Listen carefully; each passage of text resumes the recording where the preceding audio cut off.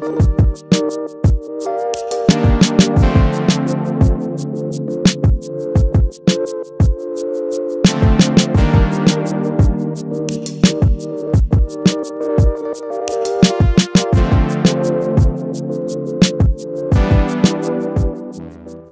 Tek Başına Podcast 8. bölümden herkese merhaba arkadaşlar. Bugün önüme notlarımı açtığımda çok garip bir şeyle karşılaştım. Önümde şöyle bir şey yazıyordu. Ev, kira, dost, intihar. Dedim acaba bir ara kendime bir şiir girişiminde mi bulunmuşum? Neden böyle bir şey yazmışım diye. Meğerse bu da çok eskiden not ettiğim ve kesin bir gün günü gelecek ve sahnede anlatacağım diye karaladığım ufak tefek bir cümleden ibaretmiş. Kendimi bazen Google gibi hissediyorum çünkü ne zaman sayfayı açsam orada bazı keywordler görüyorum ve bu keywordlerin %90'ı bana bir şeyler hatırlatıyor ama %10'u belki de mükemmel. Bir şekilde hepsini kaybediyorum. Hepsi uçup gidiyor. Anlatamadığım o kadar fazla, kullanamadığım o kadar fazla materyal var ki bunun gibi ev kira, dost intihar. Bunu anlatmayacağım bugün. Bu bir video fikrimdi benim ev kira dost intihar. Bugün sizinle insanların kişisel gelişimine katkıda bulunan taharet musluklarından bahsedeceğim.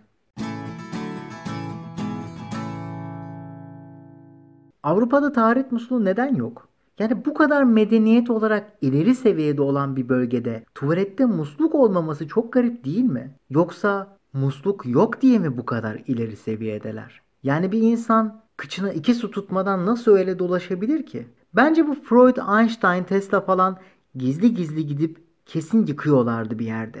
Ne bileyim odalarında beklettikleri ufak çirkin renkli bir maşrapaları vardı ve bu maşrapayla bir şekilde yıkıyorlardı. Yoksa insan bu kadar iyi şeyleri nasıl yaptı ki? Yani bu kadar şeyi nasıl düşündüler? Çünkü kafada o dert varken başka bir şeye odaklanamazsın. Ya ben odaklanamam mesela. Bütün gün hay Allah yıkayamadık ya diye gezerim ortalıkta. Mesela bana gelip sorsalar hangi bölümden mezunsun gibi basit bir şey bile sorsalar bir düşünerek cevap veririm. Eğer tuvaletten yıkayamadan çıktıysam ve o anda telefon çalsa 0850'lerden bir telefon gelse beni hemen diğer operatöre taşıyabilir. Çünkü kafamda hep göt var. Bana hangi soruyu sorarlarsa sorsunlar, bütün cevaplara giden yol kötü bir süreçten geçecek. Kötü bir süzgeçten geçerek onların cevabına ulaşacak. Bunları düşünerek demişken acaba insanların yıllardır bas bas bağırdığı bu konfor alanından çıkın. Ancak öyle gelişirsiniz. Bunu mu kastediyorlardı acaba? Yani kıçınız pis gezmek acaba insana yüce bilgiler mi katıyor? Taharet musluğu deyip geçmemek mi lazım acaba?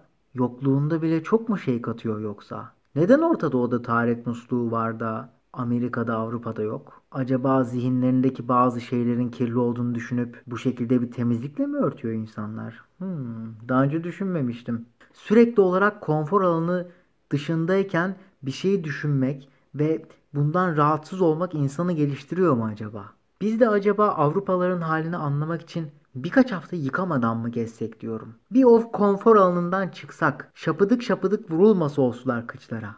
Oradan çıksak bir acaba kendimizi biraz geliştirir miyiz? Ben neden Avrupa tatilinde bu kadar mutluydum? Yıkamadığım için mi acaba? Bak şimdi bir şüpheye düştüm. Gerçi orada yıkayamadığım için duş aldığımı bile hatırlıyorum. Ve gerçekten hayatımda bana o kadar huzur veren başka bir duş yoktu sanırım. Ya ne oldu da taharet musluğu kabul görmedi? Böyle güzel, böyle yani baklava gibi güzel bir icat nasıl kabul görmez?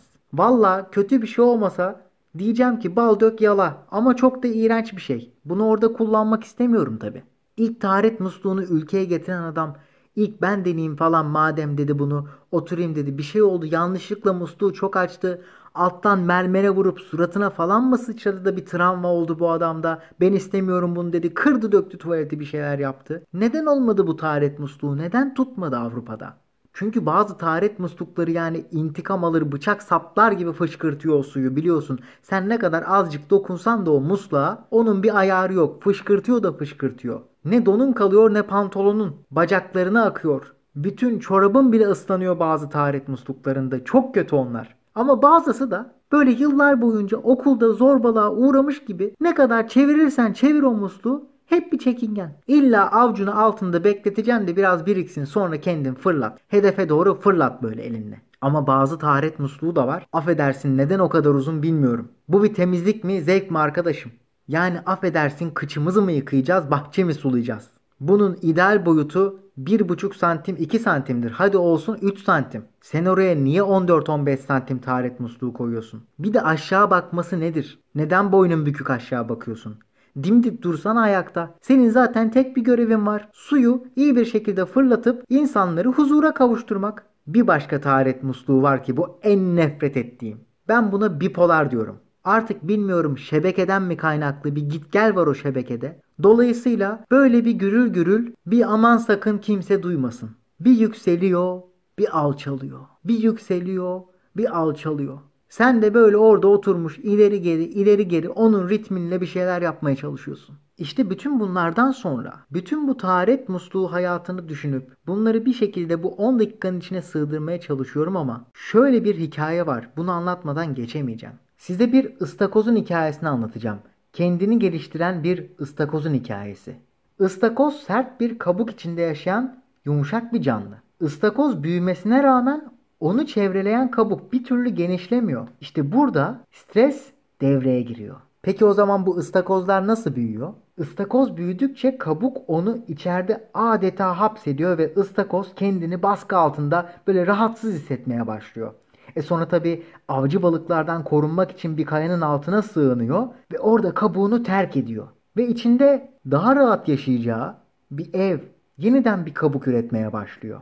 Ve bunu çevreleyen kabuk kadar tekrar büyüdüğünde ıstakoz yine içine sıkışmış hissediyor ve kabuğunu tekrar kırıp daha da büyümesi gerekiyor. Ve bu döngü ıstakoz geliştikçe büyüdükçe en olgun halini alana kadar devam ediyor. Yani kıssadan hisse neymiş?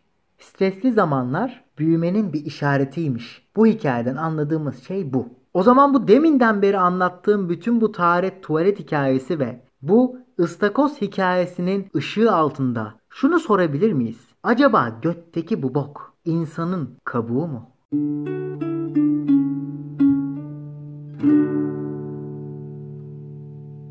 Arkadaşlar taharetten yola çıkıp felsefik sorular sorduran bu 8. bölümde beni dinlediğiniz için çok teşekkür ederim. Bir sonraki bölümde görüşmek üzere. Kendinize iyi bakın. Hoşçakalın.